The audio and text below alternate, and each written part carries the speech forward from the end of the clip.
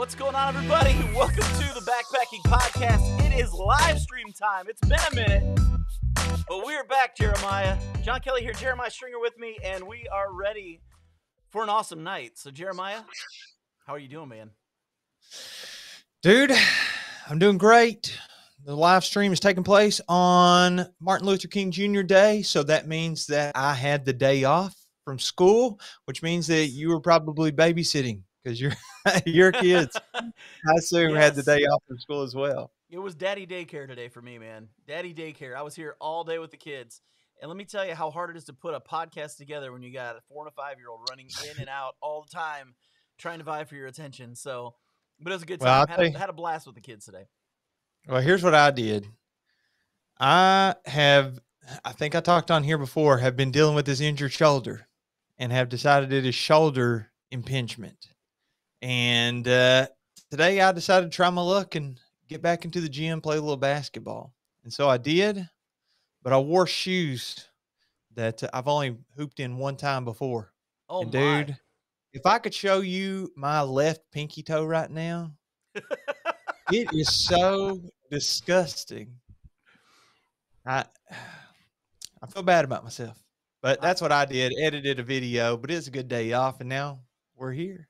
Well, hey man, I'm just glad you're here, dude. It's good to have you here. Um, so we are getting ready to have a fantastic guest on, but there are a few comments that have already come out here that are cracking me up. Apparently, Jeremiah, um, you are going to do a CCR cover at 7:30. Oh, is that right? That, that's that's the rumor going around right now. So uh, didn't know if you knew that or not, but that that's happening. Um, now we got we got our buddy uh, Devin is here from Backcountry Exposure. Always good to Oh, have Devin. On here. Um, but this is gonna be a good show, man. We've got basically a living legend that is on the show with us today. A guy who uh, goes without any real need for introduction. But before we do that, we need to give Mm. a shout out to our sponsor for today's episode, and that is Outdoor Vitals. Outdoor Vitals Live Ultralight. We've been big fans of Outdoor Vitals for a while now, and they've been sponsoring a lot of our episodes, which has been really cool. And I'm excited because this weekend, I'm taking this guy out with me, the 40th two person tent. And yes, I said a tent. I'm going in a tent this weekend, um, which I'm sure some people are going to have a heart attack over that. But um, I'm excited about it. It's a two person tent, it's a trekking pole tent, so it's real lightweight, uh, and it's supposed to be able to handle gale force winds. So we'll see, because I know where I'm going. Uh, they, it is a notorious place for high winds. I've been there before, and it definitely uh, will live up to that possibly this weekend. Also, because it's going to be in the 20s overnight, I'm taking my Outdoor Vitals little down booties with me as well, because I want to keep those feet warm when it's getting cold at night. Jeremiah, what kind of gear do you love from Outdoor Vitals? Well, I was going to show one piece here, if I can. Uh, Outdoor Vital sent me their Nova Pro jacket. This right, dude. I got a feeling we have had such a mild winter so far. We're about to get smacked in the face. I think you're right. And I think you're right. oh, every cold day I've been wearing this just around, just around town. And I tell you, one of my favorite features about it for backpacking. This is their warm jacket, but if you get too hot, it has pit zips, which I've never seen on a puffy insulated jacket before. So I thought that's super awesome. But that's the uh, outdoor vitals gear that I'm rocking at the moment. And I'll tell you what, we're so thankful to Outdoor Vitals for sponsoring this episode. They've been huge fans of the podcast. And uh, thanks again for sponsoring this one, Outdoor Vitals. Live ultra light. We're getting some funny comments already about the tent. So uh, it, it, it you got to see this. This is funny. Um, where are we at here? Jeff Peters, tent? And then uh, we've got Miyagi, who's also on here, and he said, uh, What is this tent you speak of? So. He's a hammock exclusive guy almost. Now I did hot tent with Miyagi on the trail. That's kind of luxurious though. Yeah, yeah. Well, like I said, um, it's one of those things where, uh, for for for me, I've always done the hammock, but uh, I have a YouTube channel, man.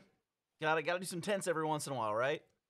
Mm, most people I think use tents. Yeah, I think our guest today uses a tent. I believe so. As a matter of fact, we should probably start talking to that guest instead of talking to each other because I think that's why everybody's here in the first place, right? Let's do it. So let's bring on our guest. Uh, you guys have heard of him. He goes without saying. Welcome to the show, Andrew Skurka. What's going on, man? What's going on, guys? I was wondering if you were gonna do the uh, Jimmy Kimmel, Matt Damon thing to me, where you talk and talk and talk, and then like the final thirty seconds of the show, you bring on Matt Damon. But, I actually like you though, so I don't. I don't want to do that to you. You know, we'll actually let you be on here. do you- um, Jeremiah, do you want to have a uh, contest to see whose feet are prettier? Oh, you want to you want to put some feet on camera? We better give a trigger warning. No. No. It would be a not suitable for work. Yeah. What happened to your feet? Oh, I I I pulled off a toenail this morning. Um, It's like the Oh. second one in a week. Pulled yeah. off a I mean, toenail. Well, you know, if they get if they um if you get a blister underneath the toenail, which is pretty common just from if you're running a lot, oh, eventually you lose that toenail. So I've never done that before, but you're pretty hardcore, man. Really? You run marathons. yeah, I I r- mean, yeah, run a, run a lot. Yeah, yeah, yeah. It didn't have and, um in Dec- early December. I, my feet are like finally like recovering from. In early December, I tried to run a um 100 mile track race, and they're Oh, wow. finally finally recovering from that. It didn't go that well. I don't really want to talk about it, but um they're recovering. Uh, That's why I. That's why I, my toenails are missing. Well, actually, that was the only reason we brought you on here was to talk about that 100 mile race. So, um, hey, Show's John, over. show's Earliest, over, earliest man. show and shortest show Ever. backpacker backpacker podcast history. Uh, John, um, I know that somebody reached out to you, and that with him talking about the hundred mile race made me think of this person that uh, told you to say hello. oh yeah, there was a there was a pass certain, along? I don't want you to forget. That's Yeah, why I'm telling you. yeah, there's a certain backpacker named Jeff Garmire that said to say hello to you. He is always on. He was like on the. He was watching the hundred mile race too. uh, Of my on the live stream. Are you When does this guy get an opportunity to train? Because he must be doing something right. Because he set that new JMT record this summer, beating string beans. So at some point he must be running. But he seems pretty. He's definitely following along. What's going on? He's a well, he's a big King, friend of the show for sure. He's been on multiple times, and he's a he's a lot of fun.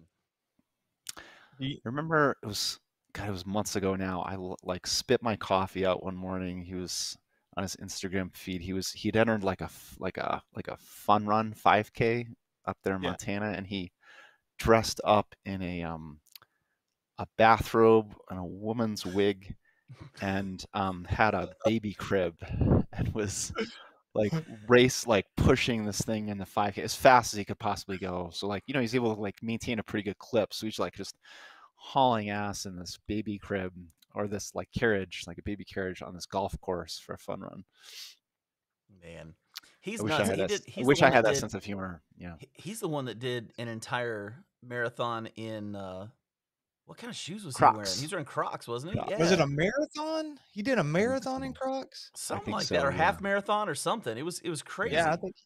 Yeah, I think he did a, a 10k at least. Yeah. How many? What's a marathon? 26, 26 miles, miles. 26. Hey, I think he'd done a 10K, but I don't want to discredit him. I wouldn't put anything past him. He might have done 100 miles in Crocs. I have no idea. he's crazy. let's just to- start let's start making up stuff i think he did like Yeah. the entire pacific crest trail in crocs didn't he Yeah. Well, I heard he did I the heard that. entire badwater he did badwater in crocs Oh yeah, I heard he walked the entire uh, Great Wall of China in Crocs. and the entire great western loop Yeah, the entire Western Loop. It's the truth. And then he climbed up Mount Kilimanjaro in them. It was crazy. Hey, Crazy. is When he this- summited Everest, it really freaked me out. Can you uh, put outside comfort zones comment up there? I, is this an inside joke or something that uh, Skurka did that I don't know about? Yeah, I actually put this as one of the comments I was wondering about. Uh, can y'all ask Skurka if we can expect any turbulence or will tonight be a smooth flight? Skurka, any comment? I have no idea No? what that means. Me either, Jared. What are you talking about, bro? You want? We need more context. yeah, we need some context here. I think we just we just made Andrew completely speechless with on that one. So Yeah, I have nothing to say. Yeah. Look at uh, look at Devon's because this is something that I am really curious about. Uh, backcountry exposure. He he wants to hear about your guiding company and like, for example, what's your favorite route to take clients on? Mm. And he says he loves seeing all the Escalante photos. Did I say that right? Escalante, yeah. Yeah, I mean, well, I, I don't. I could talk about the guiding company all night long. Um, so gotta be careful. So, um, so Well, I got some questions for you about the guiding company. we we go there. So, uh, brief description is that we run um, we run three, five, seven, and eleven day long trips. Um, these are uh, we call it a guiding company, but I would say that the guides are as much like coach or instructor or facilitator, where we want our trips to be client led and they're um, designed to be educational and uh, trying to give clients the confidence and the know-how to do these trips on their own. We get a lot of repeats too, who just find that it's a valuable service for us to secure all the permits and put together a great group and a great route and bring them the breakfast and dinners and make sure that they don't you know, get in trouble. But um, uh, the core mission is to kind of is to is an educational one. And then uh, as far as the favorite routes, you know, schedule is the schedule is sort of optimized for the season. So it starts in April um, down in southern Utah in Escalante. So the Escalante is that's a Escalante River is a tributary of the Great a tributary of the Colorado, and it flows into Glen Powell or um, Lake Powell. And that's a, just a fantastic time for us to be there in April. There's no better place to be. Like the wildflowers are out, the cottonwoods are, are like just have like that vibrant green to them. Temperatures, daytime temperatures are like mild to cool, sometimes a little cool, sometimes a little warm, and then the nighttime temperatures are always usually pretty comfortable. And then we transitioned. Um, we're doing sand, uh, Great Sand Dunes in the beginning of June, just as that will be greening up too. We go up to Oh, wow. Alaska at the um, end of June, beginning of July, just between uh, the transition between like high water and like spring runoff and mosquitoes. We do California in July, um, and then Olympics in the Olympic Peninsula in September. Finish the year out there on the East Coast in the app in uh, West Virginia during peak fall peak fall foliage. wow. So it's so to say like what's your favorite one? I mean, they're all like how could you argue with like you say yeah Utah in April or Alaska and at that time of the year and Oh yeah. um, Where do you So- go in the Appalachian Mountains? So we run our trips um, in West Virginia. We run the trips in West Virginia. We're in Monongahela National Forest, and um, we do uh, Seneca Creek and also Dolly Sods. Deli Sods. Okay, that's some Yeah. good spots. And do you go on every trip, or do you basically have a team that kind of works I've out there a, with? I've got a team now, yeah. So I'm I'm still on site with every location, um, but it's Huh. just you know, last year we- we ran 60 trips last year, and um, I ran I, I, Hey, how I do you guided I 60 guided I guided 20% of them, and I was still Okay. gone. I was gone 97 days last year, which my wife included in our Christmas card. so um, it's great. not lost on her like how much work is involved in this. Um, yeah, but just it's just been necessity that as the program has gotten bigger, I can't guide every trip. Yeah, that thankfully, I've got you know I've got a fantastic team. You know, if if I'm not guiding the trip, then people are going out with some like you know flying Brian Robinson, who was the first guy to hike the calendar Triple Crown back in 2001 and a Barkley Marathon finisher, or they're going with uh, Joe McConaughy, who's um, you know, like famous fastest known time guy. Wait a Um, second. Can you? The the first guy you just mentioned was a. You said he was a Barkley finisher. Yeah, so Brian Robinson Wow. back in 2001 hiked the calendar Triple Crown. I was still in college at the time. I mean, just like this was like the Wayback Machine. He's been backpacking in the Sierra since the 70s, Wow. and then yeah, he finished Barkley in 2000 and I think 2008, um, which was I think he was like the 14th finisher at the time. Wow. That's amazing. Like, Yeah. don't get me wrong. The calendar thing is great, but man, I've heard. I know too much about the Barkleys. Nobody finishes that. Not too many people. I mean, the whole thing is designed to for you not to finish, right? And it was his fourth. It was his fourth time, but like just you know, and to Still, um That's amazing. Yeah, and well, not even like I mean, you have to do it that many times often to finish it because Mhm. you have to understand the the route and where the loop and where the books are and um, you have to learn how to manage yourself with that much sleep deprivation and And pain. So and suffering a lot a Yeah. lot of suffering Like and, you, and you have to wait for like the right the right weather window too right so if it's if you get a year that's too hot you're probably just not like it's probably just not going to happen and similarly if it's too cold and wet it probably also isn't going to happen Yeah. Well, uh, we've got some comments going on up here. Like these guys are getting really funny out here. So uh, we've got people talking about Garmire. Um, one person has told us that I heard he wrestled two Grizzlies in Crocs. Um, and then let's see, we've got um, he did the 42 peaks in New Balance 429s. the, are the 429s is that the is that the geriatric new I think balance those are dad or is that shoes. the, I think those are dad Anton shoes. Those are my the, my dad wears those Yeah, I think that's what that is. Yeah. Um, and then we finally figured out what the headset thing is, or what they were talking about with you being a pilot.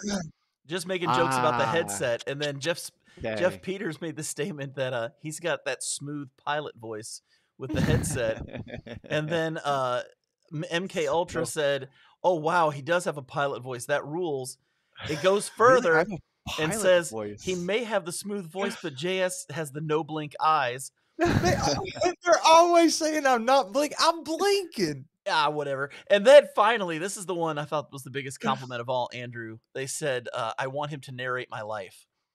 So, I have never been described as having a radio voice. I mean, I guess it's different than being a pilot voice, but um, well, apparently I people am want you to narrate their entire life. So you must and I guess I kind of a should go back to school and earn my commercial pilot license. There you go, man. Yep. There it is.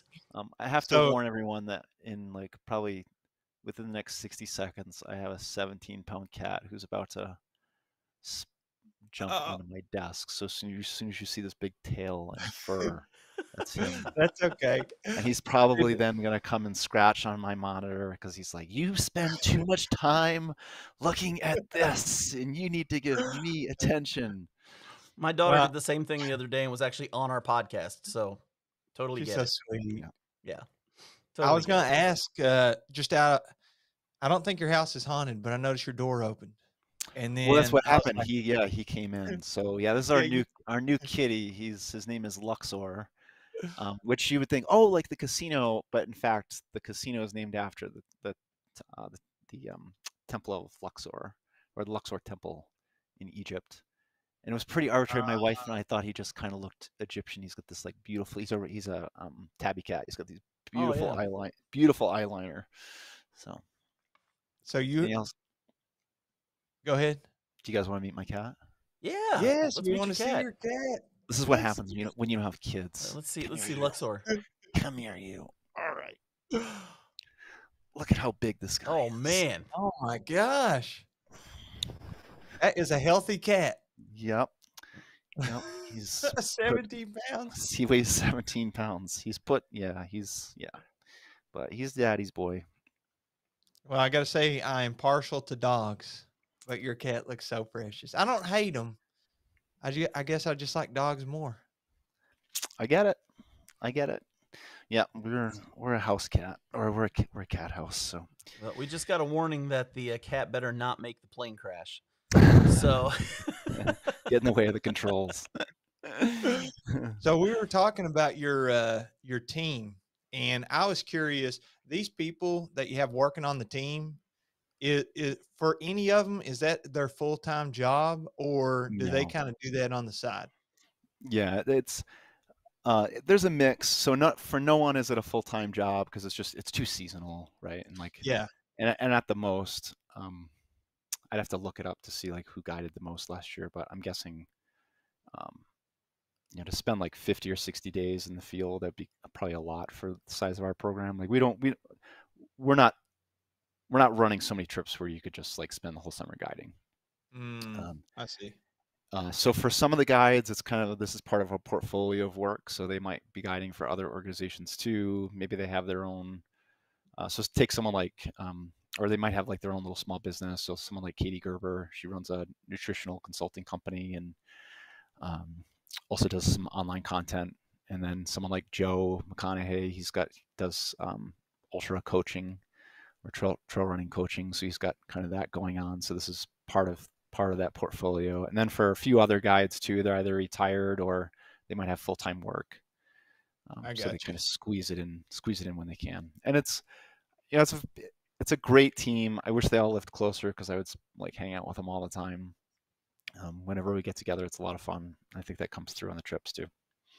Oh, I got one other question on the team. I know John's wanting to talk about gear tonight too, because uh, I went back and we had some awesome, funny stories. And from the last episode that you were on, I, it was in the 40s. I think episode 42, maybe. Yeah. But people can go back and listen to that. Uh, but we didn't talk a whole lot about gear, and we were very curious about what you take. But before we talk about it, uh, I was wondering if any of the trips have you had uh, have you had your team have to come off trail or anything go astray or like have to cancel a trip due to weather? Because i assume that people like they'll apply and i don't know what the prerequisites are but they go on your website and they apply for a trip. And let's say that i am mm-hmm. accepted and we're supposed to start in april blah blah blah. And then i'm supposed to fly in then all of a sudden you know utah that's not going to be very friendly to the dates that we picked. What do you do? Anything like that ever happen to you yeah, at this point we've seen it all. Um, so we we've had some trips that have been canceled because of smoke, um, because of uh, so like wildfire issues. Most never at risk of like a like a fire, but more the smoke, just the air Mhm. quality. So we had some um, yeah, we had quite a few cancellations at the end of 2020 in California. We were supposed to be operating in Yosemite, and the Creek Fire, which ended up being like 350,000 acres just to the south, just was like just pouring smoke into um, into the park. Yikes. The night the night before we canceled the trips, we were in Mammoth Lakes, and uh, the AQI hit 1300, which is like if anyone follows the like, there's been like a um, a lot of people understand AQI nowadays because especially in the West because it's something that we deal with every summer. So yeah, it was 1300 in Mammoth Lakes, which is like um, I think the number that's like unhealthy for all groups is 150 or or maybe 200. So it's something like Wow. multiples more than unhealthy for all Oh, groups. Wow. So we had some cancellations because of wildfire. Um, we've never had a cancellation related to weather. Um, we had some cancellations also. I had to cancel um, our Alaska trips in 2020 because of COVID. Um, the state just didn't open up in time for us to run our trips there. Mm. Um, and uh, we, in cases like that where we have to cancel, um, we either we've got a few op- options and they get to kind of pick. We can we can reschedule the trip if if possible. Um, we can um, give them a voucher equal to their payments for future trip, or try to get them on a trip later in the season. Or if they just want to pull out, then there'll be like an administrative fee for all the process, all the sort of planning and preparation that goes into the trip, and then we refund them the rest. Mm. And then as far as the, uh, we've also had the other situation where people cancel, which is never great. It's sort of a lose lose for both situations, and like. Um, inevitably they'll like people fall off their bicycles and they break collarbones um, people have uh, they're like some family member announces that they're getting married when they're supposed to be out with us um, people ch- people change jobs they con- you know family like someone's spouse or someone's parent become you know gets ill or you know, sometimes a child um, uh, there are all What sorts of reasons why people cancel yeah. What if they're already on the trail? What if you're two days in on? oh and they need to they need to happen? bail Yeah, um, I not don't just no, not need to bail. they want to They want to. Like I'm mentally, I'm out. That ever happened to you?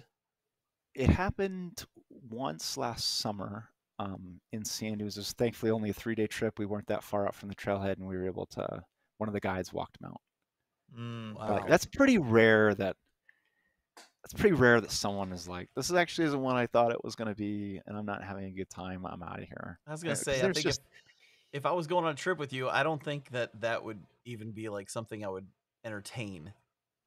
yeah, I think people, um, my understanding, and I try to put myself in the client's perspective, but my understanding is that when people sign up for one of our trips, it's pretty clear to them that they're getting that they're getting a different experience than what like most other commercial organizations would offer. Like it's very clear that like we don't do tours. Um, and it's also very clear that um, our guides don't do everything for them. Um, Mhm. there's it's also clear there's an expectation that they will um, participate in a planning curriculum beforehand to make sure that they've got all the right gear and all the right food before we get to the trailhead. And, and you know, usually uh, part of that planning process too, that planning curriculum, it's sort of a little bit of a vetting tool where if someone gets into it and they're like, this is way more than I want to do, it's like, it's probably best actually at that point that we split because Mhm. they're probably looking for a different experience than what we provide. Yeah, we've actually got a question about your trips. Uh, Becky C was wondering, uh, do participants on your trips bring their own food? So we have the clients bring their um, daytime lunches and snacks, and then we supply the breakfast and dinners. And we find that's a great sort of a great way to do it because preparing breakfast or lunches and snacks is pretty easy, um, and it gives people control over what they want to eat during the day. And then we do breakfast and dinners because breakfast and dinners are kind of a pain to assemble beforehand. So I think if we didn't, that half the group would show up with like ramen noodles and the other half would show up with Mountain House, and no one would be that satisfied compared to what we actually make them. That makes total sense. That makes total sense. Okay, a few quick comments before we get on to what what I I, I got to find out about today, Jeremiah. So, um, but first we've got um one person who said the pizza ninja just said, uh, Jeremiah, you need to go all in on poop merch. Just saying. So yeah, that I, needs to I happen. could. The first shirt, I poop in the woods. Yeah, I think that that's where you need to go with this. Uh, and then uh, somebody else wanted to just say real quick, I'm going to calculate Jeremiah's bi- blinks per minute so I can defend him against the haters. Oh, So- thank you. there are some people that have your back on here. Also, uh, Celestial Hikes just said, "Hey, I found your podcast after Thanksgiving. You've listened to almost every episode. I have about 20 left. That's a lot since November. Wow. That's 126 episodes. I don't know how they're not tired of listening to me. a lot of I would time. be so tired of hearing about us. And then another question um, having to do with cats. Uh, would a laser light work for a mountain lion like a house cat?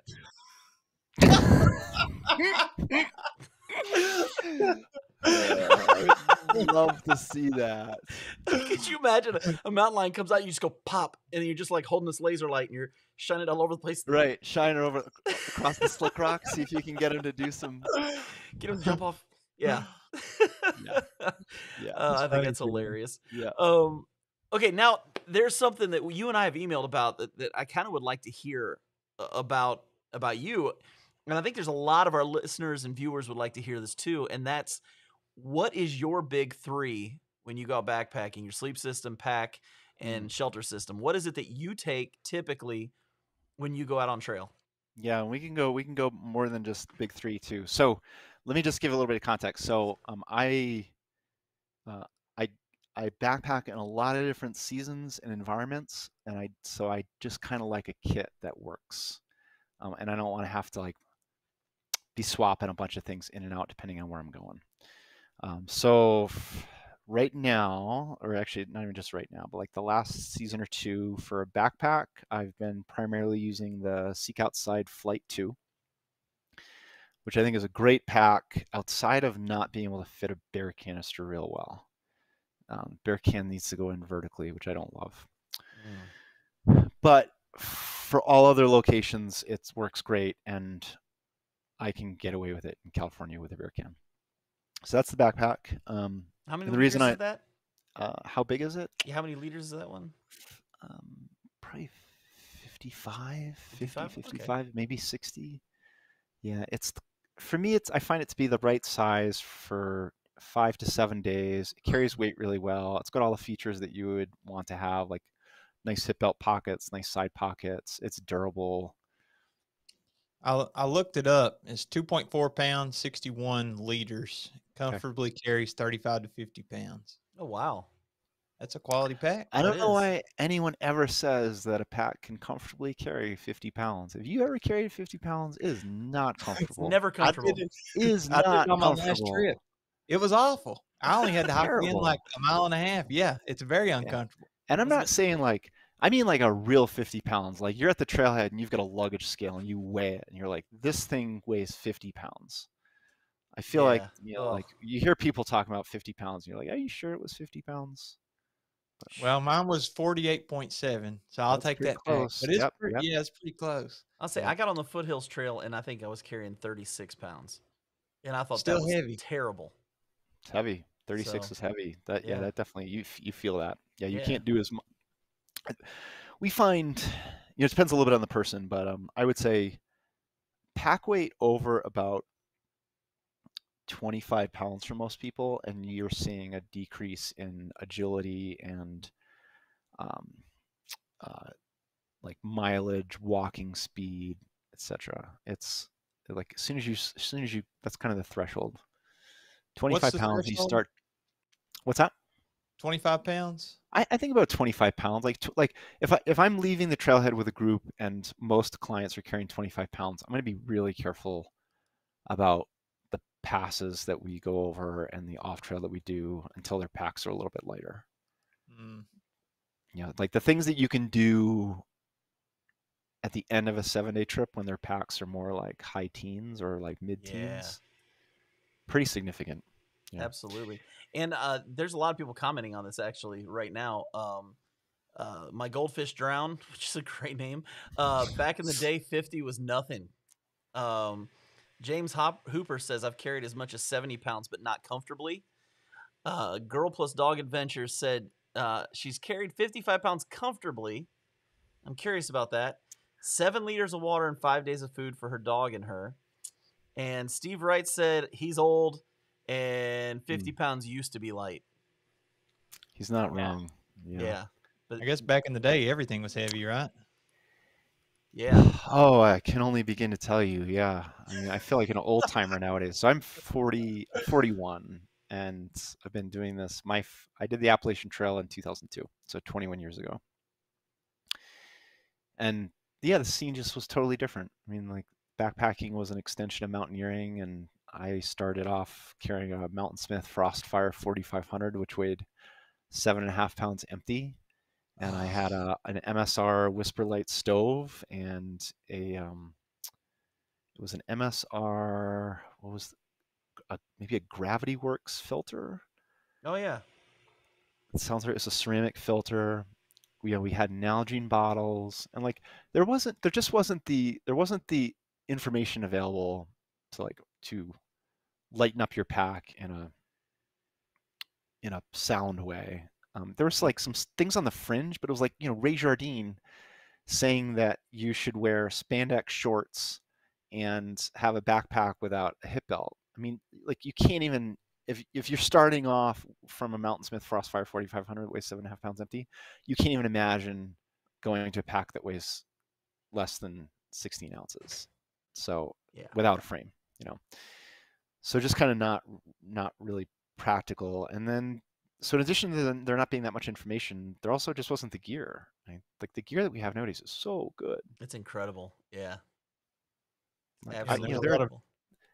there probably are like 10 or 15 packs that I could use and be pretty happy with. Yeah, I think I think right now it's just amazing. Like when, especially the new fabrics that are coming out, when you've got like the Ultra fabrics and the Dyneema and X-Pac and all these different things that are coming out right now. Uh, anybody can get a, a backpack that's two pounds or lighter at this point. Yeah. Uh, his is two point four, and it seems to be doing fine. Yeah, I think with a, f- I think with a frame, you're always going to end up being more in that, you know, probably closer to two, yeah, two somewhere between two, say two and a quarter plus minus a quarter is Yep. probably kind of the the lower bound of that. Uh, all right, so that was backpack. So shelter, I've gone back to the Mountain Laurel Design Solo Mid XL. Okay. So this is a shelter that I first used in 2010 on my big Alaska trip. And I came back to it because I, spent years sort of away from it and worked like I designed my own shelter with Sierra Designs. I used Seek Outside Silex. Um, I've set up probably at this point like hundreds of Z packs and Gossamer gears and HMG shelters, and I've used Tarp and Bivy, and like I just kind of have seen it all. And Tried oh my god, oh my god, the number of X mids that I see nowadays too. so They're many X mids. so many X mids. If Dan is listening, Dan, next time you put in an order, please extend the corner guy lines so that they're not like three inches long. They need to be like three feet long to make them actually usable. So did he ever guide a trip for you? I know he was supposed to originally. He was supposed to in 2020. Yeah. And then, um, yeah, and then he we, we couldn't get him over the border for like a year and a half. And then by the time he was sort of available, he was busy with Durston gear, and my program had grown quite a bit, and I had guides who were plenty capable of guiding in Alaska. They knew the program, and also to you know Alaska for the guide team is sort of a like it's kind of a, kind of a prize. So it's something So it's an you say- assignment that they all hope to get if they put in enough time for us. would you say, as far as relationships go, you just kind of outgrew each other?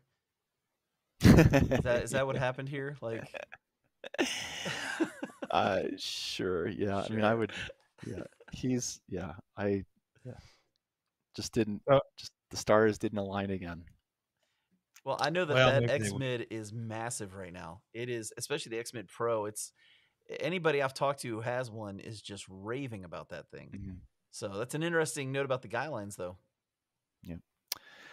So i went back to the solo mid because i just think for for that weight you're going to struggle to find a shelter that has that much storm resistance that's that easy to set up that has that much interior room that's modular i mean you can get lighter you can get more storm worthy um, you can get something with uh, you know but it just as an overall package it's pretty tough to beat Do you use? So I looked it up because I didn't know what this tent looked like, and it's trekking pole tent, right? One trekking pole. Mhm. Yep. Do you uh use the inner net part, like the the floor and the net and all that, or do you typically take it without it? it depends on depends on where i am and what time of year so Okay. Well, give me the Uh, circumstances on your right so if i'm in so if i'm in alaska at like the end of june beginning of july i usually take the net because that's when, around when we start to see mosquitoes Mhm. uh, if i'm in the sierra or say i'm in like the like the olympics in september like, i'm not bringing the net i'll just bring a i'll just bring a um ground sheet call it good Okay. So bugs is the contribute the most contributing. bugs would be the driver yeah and if you're you know and if you're back east so like last year i was in west virginia and I'm, i brought the solo mid for that too. Um i don't think i set it up i, I set it up maybe one or two nights but it, we had generally good weather so i was able to just cowboy camp. But even in october in west virginia like there are a few little daddy long legs crawling around but um i like to cowboy camp when i can. I think it's more fun. What about the snakes whenever you're cowboy camping? That is that's always uh, the first thing that someone mentions to me. So Or tell me. Yeah. snakes or bears. I think it's one of those unfounded fears. I think, uh, I mean, how many, like, spent like I don't know, thousand nights, fifteen hundred nights. I've never actually counted up, but like some like exorbitant number of nights. And then I know a lot of people have also spent hundreds or maybe thousands of nights, and no one has ever said to me, "I used to cowboy camp, and then a rattlesnake cuddled up with me one night, and I will never like." No one has ever said that to me. It's a kind of the same thing with you know bears and hanging your food where I think it's pretty rare to find someone. and I said rare because I don't want your listeners mm. to like misinterpret what I'm saying. Rare to find someone who slept with their food and had a bear come into their tent or like try to grab it from them in the middle of the night. Yeah, I Like, gotta yeah. admit, I've slept many nights with food in my tent. Yeah, that's And- sort of like the sort of like the undiscussed secret among through hikers, right? Yeah, They're yeah. like, yeah, like yeah. And Yeah, I'm not necessarily it's not it's not a practice that I would recommend in all places. Um, it's not Mhm. something it's like in fact like in some places it's downright dangerous. But there are plenty of instances where it's okay and um, an educated backpacker needs to you know would be able to figure out when it's appropriate and when it's not. yeah. I was gonna say here in the Red River Gorge, don't even worry about it. Just sleep with your bag. There's not gonna be any bears bothering you. But if you're in the Smoky Mountains, Right. You Yeah. better put that up on a bear cable. Like, don't even think about putting it in your tent.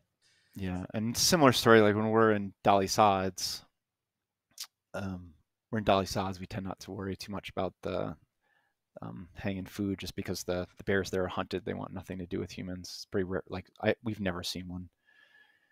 That's a great thing But about in- rednecks, man. That's the great thing about rednecks. Well, they hunt them with Okay. dogs too, which is even They hunt everything. Yeah, So yeah. animals are just kind of scared of uh, of rednecks. Yeah. So it's like, you know, eh, the, the reason why bears aren't scared of people or are less scared of people in the uh, highly civilized areas of the world, so to speak. Um, uh, uh, us good redneck areas where we live, they uh, they make sure those bears stay away. You're not wrong. I mean, there there definitely is a correlation. I mean, we see it in Alaska too, in places where um places where bears see are like hunted by humans. We tend not to see bears. Um, in in areas where humans kind of don't get to, like we have more issues with bears. Um, but you know, like so, Dolly sods, no bear problems. But like, I would never sleep with my food in Yosemite. No, Heck no. no. They have the little hooks whenever you're through hiking. Little hooks keep squirrels and mice from getting your food. You know what I'm talking about in the shelters. It's got the can hanging Mhm. over it, string yeah, down. right. Yep. Yep. Yep. Every shelter, every person. Mm -hmm. Oh, this I is think- great. I get, you got to you got to see this. Uh, MK You got- Ultra said, "I personally woke up next to someone who had a black snake cuddled up with her in her bag." Oh my goodness. Um, and then my goldfish, my goldfish drown says, "I always sleep with my food in Colorado," and then quickly says, "Come at me."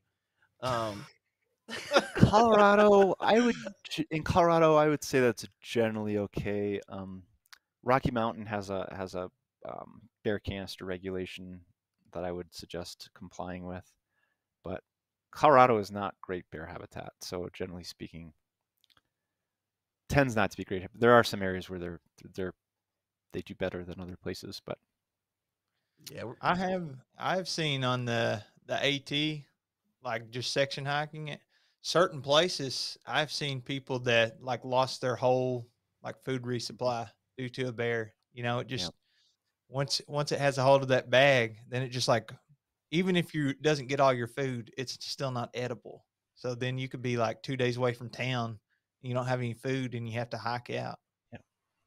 I was So going to some say of your that- listeners would probably know this. What's the? I know that last year the, the Appalachian Trail Conservancy put out sort of like a like a bear canister advisory, saying that we're you know we're nowadays recommending all hikers wear or use a bear canister on the Appalachian Trail. Um, is that still the policy there? Because I just feel like it's inevitable that there will be a bear canister requirement on the Appalachian Trail. I wouldn't be surprised because there's so much bear activity. It's so much bear activity and people and let's be honest people are really bad at hanging food like Yeah. how many times how many times have you been able to find the perfect tree Never. And then you and then you walk away from your hang and it's this perfect you know Mike Clelland graphic of it being 10 feet off the ground and six feet away from the trunk and any other branch never never, Never. and a well-trained bear like have you ever seen a bear climb a tree They're it's so good at it. it's effortless. I was actually Yeah. talking to somebody about this last night. Um, my my family in Virginia, they all go bear hunting, and they train their dogs for it by chasing bears up trees. Mhm. I mean, that's how they they train them to go bear hunting. And so, like, these bears could just go up a tree like it's nothing. Yeah. They're good climbers. Yeah, fantastic climbers. So any determined bear um, is gonna is gonna figure out how to get someone's food if it's not hung properly. I mean, how like again, how many how many times have you seen a bear can that's or a bear hang that's you know that would whack you in the head if you walked under it, or that is you know two feet away from the trunk. So people are just asking a bear to come and get their food, and then My- I just don't understand the conclusion too of someone saying, "Well, I I always hang my food in it, and I've never had a problem with it." Doesn't mean you did it right. Yeah, exactly. Yeah. yeah. Well, I was gonna say I um I had one. My favorite one so far was uh, a guy. There was like a little sapling tree, and he hung his bear bag right by his campsite, like ten feet from his tent, and it was maybe six, seven feet off the ground. And I remember thinking to myself, "Eh, maybe it's a decoration, you know, because at that point, I don't know that it's really doing anything other than it just looks like a nice little ornament hanging off to the side of your campsite. There is some value with that kind of hang, um, but you shouldn't call it bear hang. It's a rodent hang. So if you're just No, like, that yeah, that's been a lot of the comments we've been getting actually. yeah, if you're just hanging it to get it away from like the mice and the squirrels and whatever else might be in the campsite, that's that's a very different conversation than than a bear hang. Yeah, you've got so many people, already people saying squirrels and mice are often more of a threat Oh, than bears yeah, when referring to food bags. Totally Um, correct. Yeah. Rabbits and stuff are a nuisance. Um, lots of bats and mice, or uh, ran into bats in shelters, and lots and lots of mice in the Adirondacks. Mhm. So that's definitely that seems to be like more of an issue for a lot of people than the bears. Well, I tell you, on the bear canister situation, I'm not a big fan because I don't like adding the extra weight to like the gear that I'm already taking. But uh, I have seen people use them most often as like a stool, so you can just sit on it. Or I've seen people do laundry in it. Y'all ever seen that? It's a great camp chair and good for laundry too. hmm Yeah, but what other use does it have besides those two and its practical use of? I haven't seen anything else besides just taking up space There is- on the outside of a pack. There is one bear can that um, I'm not sure if it's still available. I think it's called the Little Sammy. Um, the the the top is made out of metal, and you can use it as a pan or like like a pot. Oh, But that's about it. you know, it's this wide, so I'm not sure it's. I actually want to be cooking on that. Yeah. Well, here's a I bet- question for you. Um, Ursacks. Someone mentioned they use an Ursack in high bear populations in western PA. Um, what are your thoughts on the Ursack? I think the Ursack is a good is a good buyer of time. It's a it's something that I will use. It's something that I will use if I'm something that I'll use if I'm think that it's possible that I might have a bear issue and if um, the parks or like whatever the land agency is allowing me to do it. But I don't I don't I think the track record of Ursacks is that if a bear if a if a bear if you give the bear enough time, it's probably going to rip the thing open and even if it doesn't, your food is going to be like pulverized and it's going to have bear slobber all over it.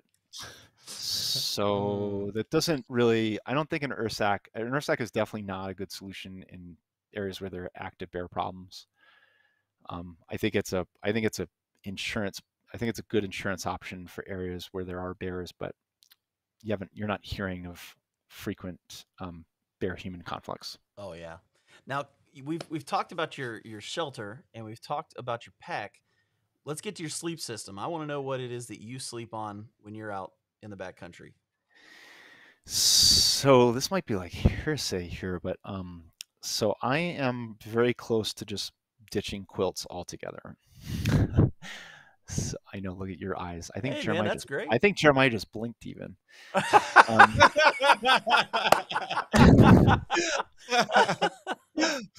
so because I've been like a long promoter of quilts, and I just I'm not sure if it's me getting older or if me having like me having like less body fat than I used to, or but What's like, wrong with I just quilts? they're drafty. They are drafty. They're They just drafty. too drafty. I am tired of and like drafty, and they don't insulate your head. So you're just Mm. sort of always losing like this heat out from around your neck, and you've got no insulation here. And um, I just, and then I think the other piece of it too. 20 years ago, or maybe not even 15 years ago, there's a pretty significant weight difference between quilts and mummy bags. Mhm. But if you look at the weight of a modern mummy, like you're not saving a lot of weight by going to a quilt. How much weight are you saving? Two pounds? Pound Oh. No, Oh less than yeah, no, no, no, no! Like like two ounce, two ounces, Two ounces. maybe three ounces. It's the weight. No, it's I the weight it's of more. it's the weight of a number three or a number five zipper, um, and um, and some fabric on that you would be sleeping on versus a mummy. It just doesn't What add up about- to that much weight. Yeah, Devin from Backcountry Exposure says the same thing. I've completely ditched quilts, bags only now. And I'm going to be honest, uh, I use quilts in a hammock because they just make more sense in a hammock. Totally, totally right. But That's in what a I tent, I'm going with a tent this weekend, and I'm bringing a sleeping bag. Yeah. So I also think there's there's like quilts have been extended into temperature ranges that I just don't think make any sense. So my rule of thumb is like I will not even consider a quilt if temperatures are going to be close to freezing or less. Like at that like at that point like the amount of heat loss around your head is huge and you just and your parka Like your hooded parka is just not enough to like. It's not even close to what the hood of a mummy bag would be. Mm. Um, Makes sense. You know, so to answer your specific question, so for the last two seasons, I've been using. Um, I don't. I don't. Can't recall the model. It's enlightened equipment, and it's the one that's got the full zipper in the back. And there has not been a single night where where I, where I have unzipped that damn thing. So, just like what I just need to do this season before the season starts is go over to westernmountaineering.com and buy myself a nice like summer light or alpine light and just be done with it. I thought about that, but then I realized I'd have to sell one of my children on the black market. Yeah, get dude. one. Yeah. Why is their yeah. stuff so expensive? I bought Yeah. one Western Mountaineering quilt, and it's a 27 degree, Mhm, and it was like four hundred dollars. mhm. And I was like, "This is expensive." But I get, I Yeah, get it. I mean, it, it it's- more it's the- fabric. it's more it's down. the it's the product. I mean, they're if you look at their stuff and like, um, if you go to Aria, like I mean, the products are good, but like you just you pick up a Western product, and this is the case with a few others too. Like Enlightened Equipment actually has this level of quality; they just don't make a mummy bag. Um, uh, but like you know that West like those when you're dealing with a high end down product, you just feel the difference. It's like the down, the shell fabric, the perfect ratios of baffles to, to insulation. Mm, And the thing is, like, y- yeah, it's 400 something bucks. You'll never buy it again. And if you want to sell it, you could probably get 300 and change for it. that is true. It's going to hold its value. yeah, and, And the everybody, everybody technology is about how good not. The technology is not. It's not like the technology is rapidly improving, right? It's not like you're buying a. It's not like you're buying a personal computer. Yeah. Or an iPhone. It's gonna, it'll stay about the same. Mhm. You know, they already got it figured out with the research and development on that product. Quick uh quick sleeping bag story.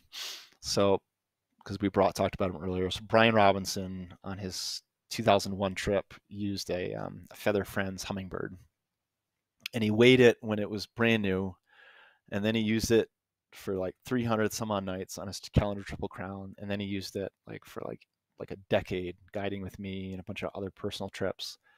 And um, he weighed it again and it had gained um, it had gained like three ounces and the only conclusion that he could get to was that that was basically like like body oil and dirt in, in his sleeping bag That's so bad. yeah What's the longest that you all went without washing? You've repeatedly used but not washed your sleeping bag or quilt. um i mean definitely a you know a full through hike so you know six months seven months And when you washed it, did it lose any of the? Did you even notice the stink before you washed it? oh for sure yeah i don't think you'll ever that through hiker stench you'll never get that out of stuff like that is that is in that product i mean Yeah. short of like an ultraviolet light with like bleach i don't think i don't think it ever is going to come out That's But funny how you long say that. it It's, it's funny you say that because I was I did the Sheltowee Trace with a buddy of mine who did the AT, and he wore the shirt that he wore when he hiked the AT. oh he probably smelled just in the car Within 30 minutes of the hike starting, that thing smelled so bad, and I could, I was hiking behind him, and I was already smelling him yeah because of how bad it smelled just that quick. And he t- he He, goes, dude, I've tried to get everything out to get the smell out of these these clothes, Yeah, it and it just just won't go away. It just needs to be thrown away and get something new. Um Yeah. out of all the long trails the appalachian trail is by far the smelliest trail. I mean that is the like i bet you might be able to wear something or like use something on one of the drier trails like the pacific crest or continental divide and like and like use it again afterwards. Um because you just have it's drier um you don't have quite like the buildup of bacteria and whatever else is contributing to that smell And all the humidity. It- Let me on tell the you East Coast stuff never crazy. dries it never dries Yeah. So I apologize if anybody's heard this before. I don't remember if I talked about it on here, but if I did, I'm sorry. But I'm going to tell Andrew because Oh, I you think probably about- did. So I did the Vermont Long Trail, and that took me about a month. And I had to dispose of the clothes after I got done with it.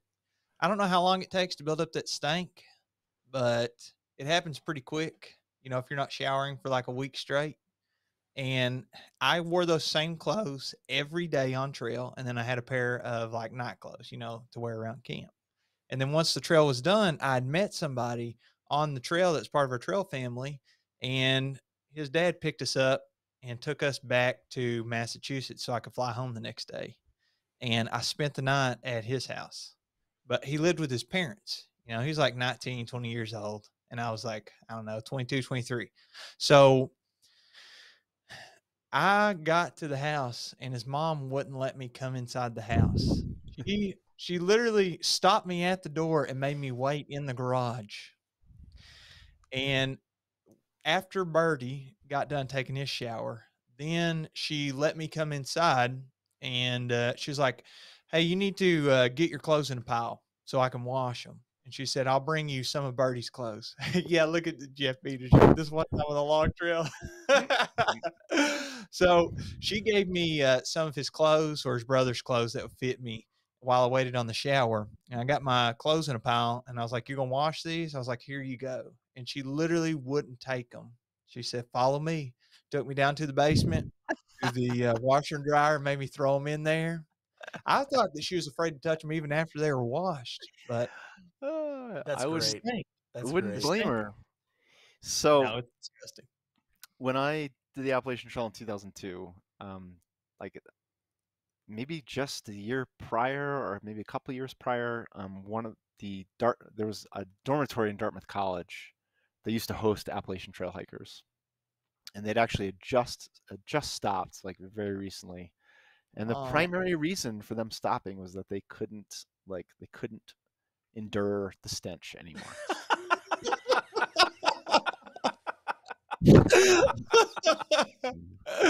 I get it. I totally get it. understand. We when we did when we did the Sheltowee Trace, we stayed at a friend's house, and he picks up, up us up in his car, and he just goes, "Oh my gosh!" and rolls all the windows down, Mm.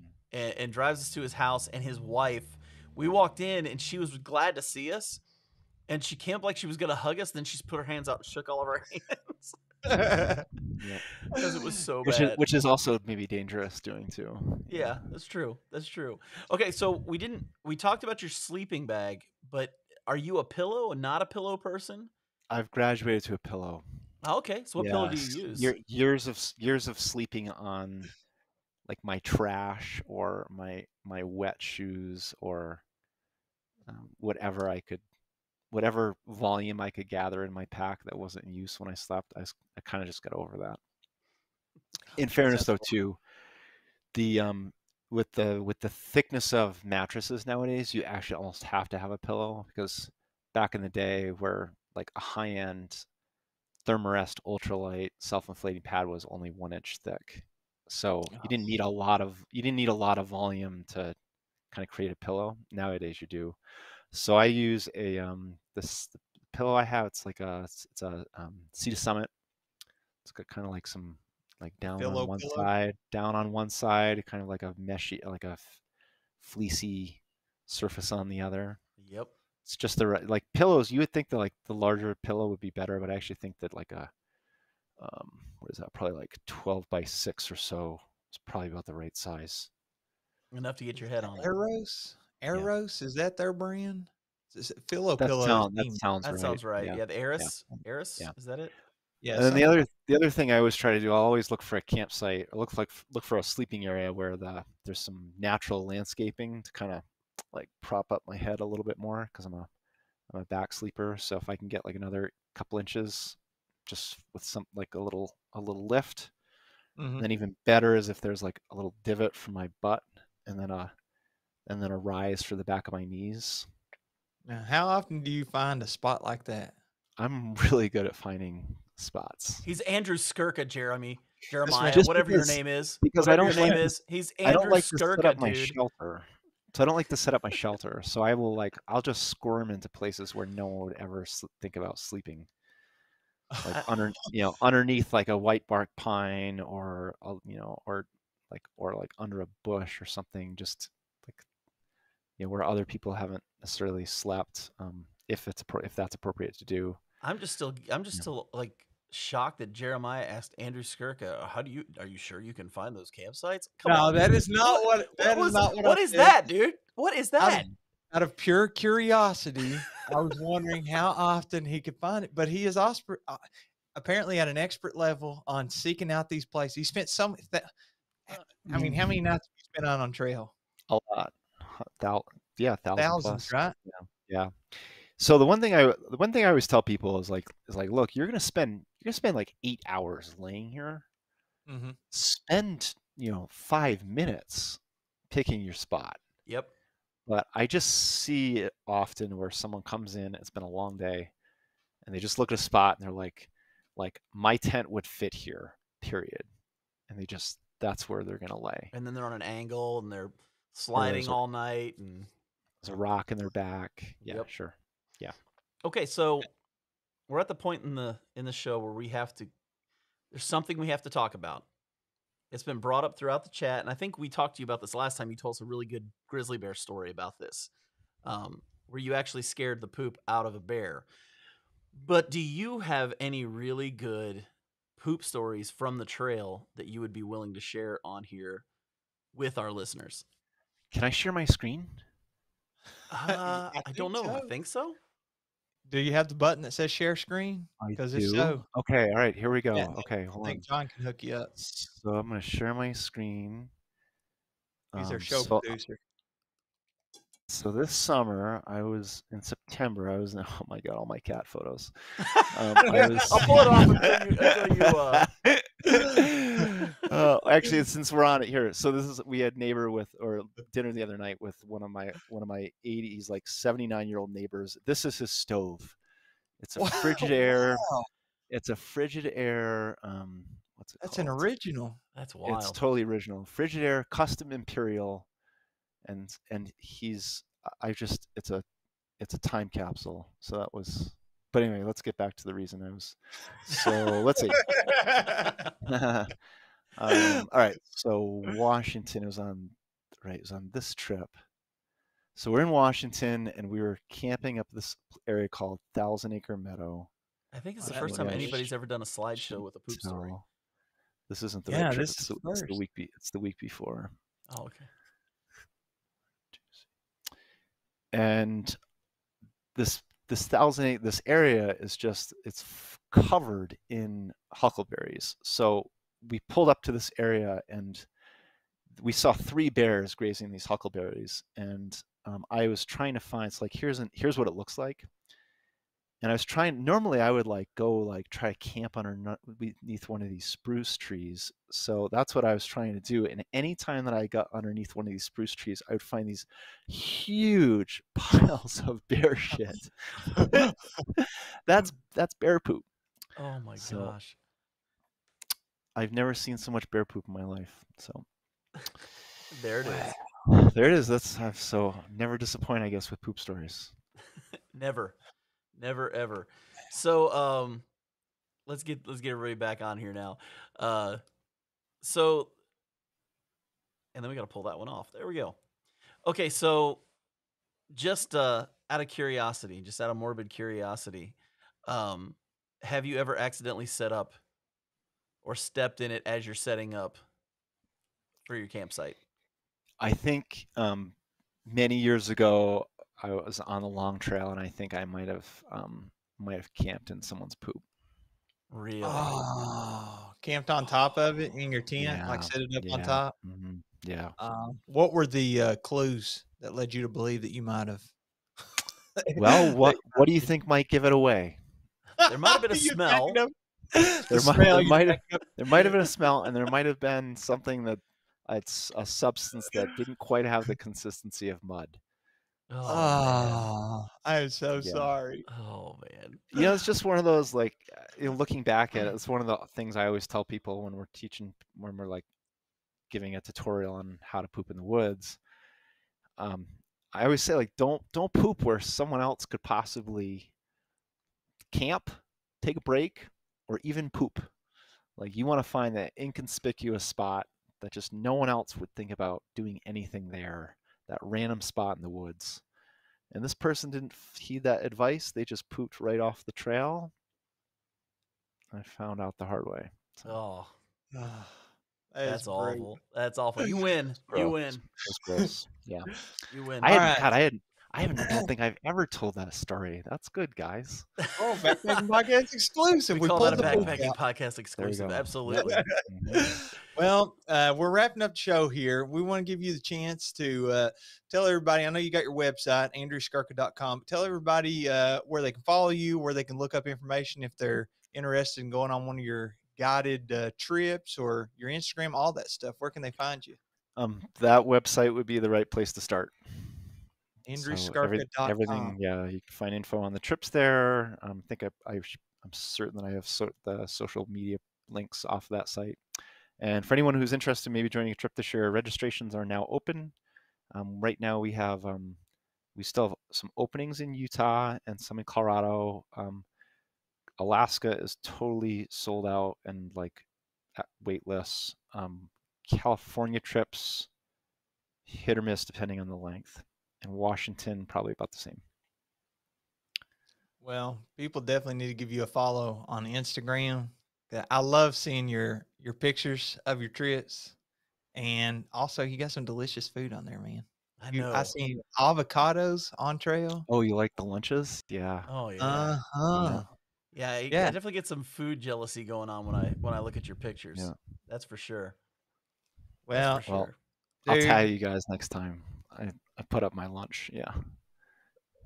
well, please it is a huge pleasure having you back on here, dude. It's it's always fun time talking to you, and I don't know. I feel like I'm talking to, like I don't know what my backpacking. If you could put a number on how smart I am at backpacking, I feel like you're off the charts, and I'm like way down here in the basement, like trying to climb onto the first floor. You're just like a guru, dude. I, I feel like we're taking a college level class on backpacking when you're on. here. Yeah. that's kind of that's kind of what it feels like to me. Mm. Oh, and by the way, I, I wanted to say this before you got off of here. The last time you were on, you were talking about teaching people how to use a compass and a map. Yeah. And I had mentioned that at some point I need to learn how to do that. And I just got this recently. So um, this weekend, Oh, look at that. All right. little Suunto M, what is it called? An MC2 Looks like, yep. And uh, I've got a buddy who's a former Marine. We're going out backpacking this weekend, and he we're gonna use that this weekend. He's gonna show me how to use that uh, when I'm out in the backcountry. So that was that was inspired by our conversation like two years ago. Two years it was later. inspired by- It was so inspired by the inspiring. Two years later, I finally bought a compass. Well, I've never been known to be Hold like do- well, quick on the you have a- draw, man. I'm a, I'm a I'm a slow mover. Well, you need two things to use it to, for comp, map and compass. So you've got your compass. Do you have a paper map of where you're I going have to? topo maps, yes. okay. So he's, Oh, he's the- Good been, to go it's- then. he's Oh, been yeah. explaining all the stuff to me how it works, and I'm like, all right, let's go. All right. So we'll see how it goes. if I could say, so I think on the on the navigation thing, we should all be like we like to be a you know, kind of an all of the above um, program for the tools that we use. So we think it's super important to learn how to read a map, like read a paper map, and we think it's really important to use to know how to use compass and an altimeter and a timepiece so that you can dead reckon. And then we also think like the phone is just such a such a huge, powerful tool. Um, but it's if you know all the tools, like they all kind of have different pros and cons, and like there's a different optimal application for for each one. So you might find, um, John, that you're using the compass a lot more often in some situations than in the past. Yeah, I'm interested to see how it goes, and we'll find out just how uh, low I am on the backpacking brain scale when we get out there and use this thing. You guys So- are probably sandbagging yourselves, but listen, it's been a hoot to uh, to be on the program. You guys are you guys always crack me up, so it's fun to be on with you. Well, we look forward to hopefully having you on again, maybe in another year or two. If you'll Hopefully, have no us. more no pandemics between between now and then. Yes, we want to avoid those. Okay, good night, guys. All right, we'll talk to you later. Yeah, thank you so much. Man, uh, it's always great having him on the show, man. It is always still great having him on the show. There's just a it's just a He said I'm whole- it's just a whole different level, man. You know what I mean? Yeah, dude, you described it perfectly on the uh like a college course. He he can answer all my questions. It's like there's nothing I could throw at him that he hasn't seen. Well, the very first it's funny that we asked him a poop question because the very first video I ever saw of Andrew Skurka was him explaining how to use rocks and stones and leaves and debris to clean your backside when you go backpacking. Yeah, that sounds terrible. That's one of the first videos that I ever that I ever saw of his was a an instruction on how to dig a cat hole and, and, and how to clean yourself up using natural means. So uh, it's funny that we asked him that question. So that video was like years old. I don't know what it was on, but I, I remember watching it and I was like, "Who is this guy?" And then I did some research. I was like, "Oh, wow, okay, so that's who this guy is." So Yeah, uh, I can't, can't believe we've gotten to talk to him twice. I know, man. I know. We're, we're leveling up today. We're leveling up. Leveling knowledge too. Hope somebody else learned something too. I, I know. did. I know. Well, hey guys, thank you so much for being a part of the podcast tonight and the live stream. And, and for myself and Jeremiah, we will catch you all on the next one. Yeah, adios, folks.